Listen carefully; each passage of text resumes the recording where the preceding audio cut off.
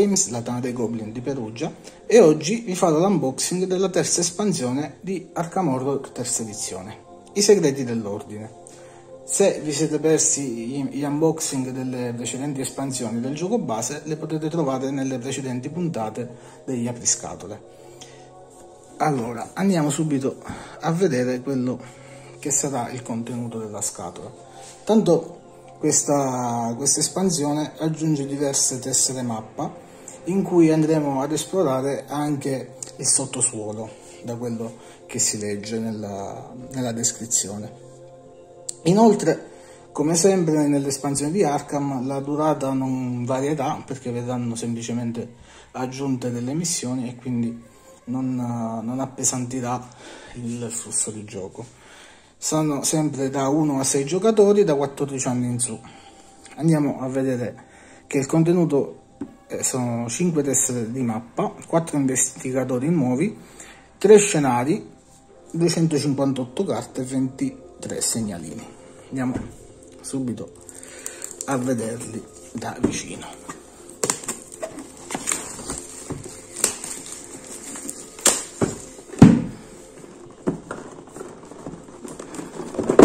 Via il coperchio.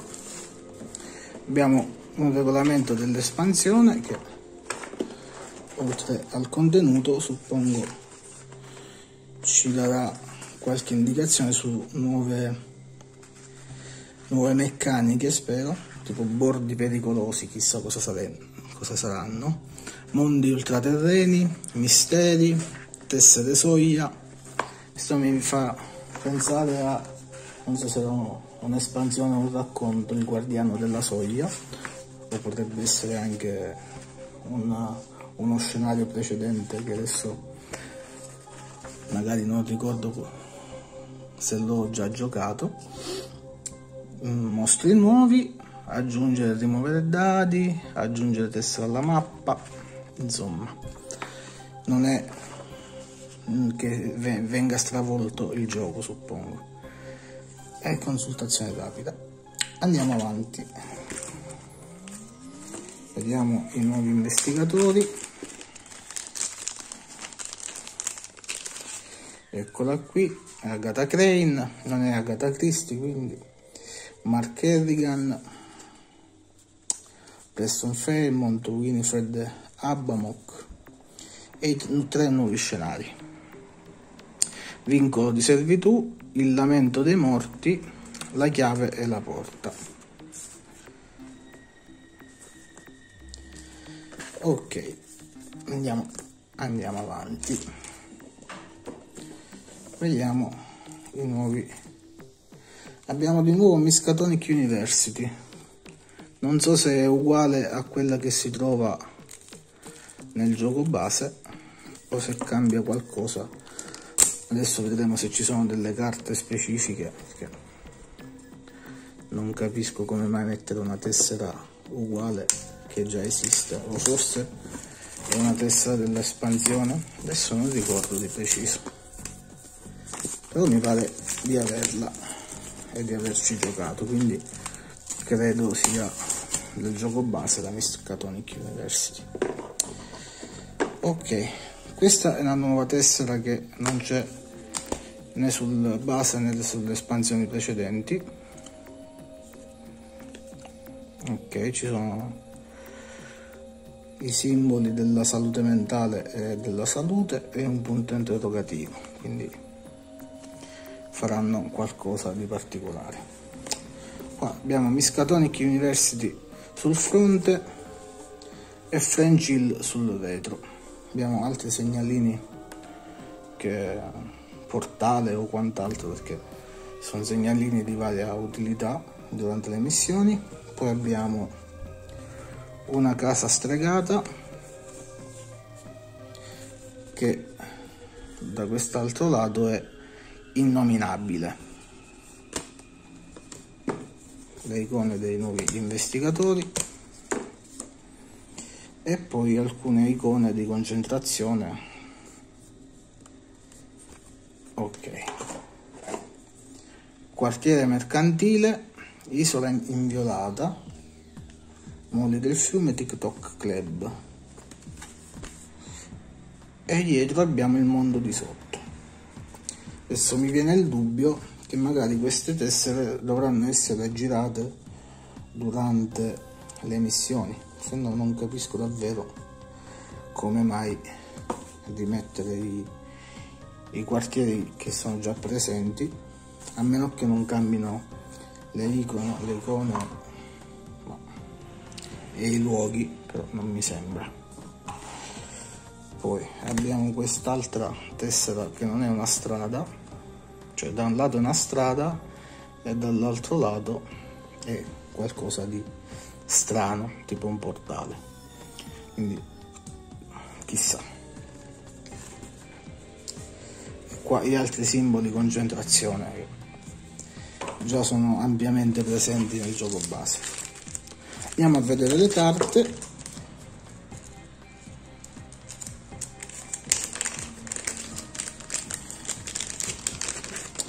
ok abbiamo le carte relative alla casa stregata. Ok all'innominabile che è la tessera che abbiamo visto prima. E poi nuove tessere. Queste sono tessere quartiere sì e queste sono quelle della missione. Quindi abbiamo nuove tessere quartiere sia per il quartiere residenziale Southside Rivertown, Northside. Ok, queste sono carte che praticamente si trovano nel...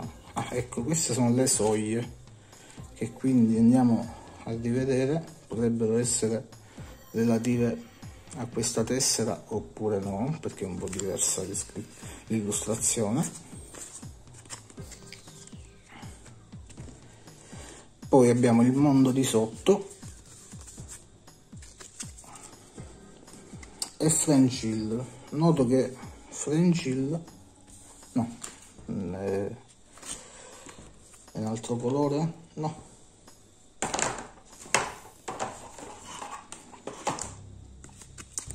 No mi sa che French Hill forse è un quartiere nuovo anche questo. Va bene.